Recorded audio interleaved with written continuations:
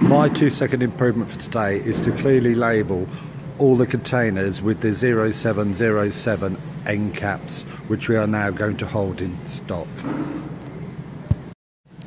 Right, my two second improvement is now complete. I have clearly labelled each container with the 0707 end caps and their colour. Also putting in the Kanban cards.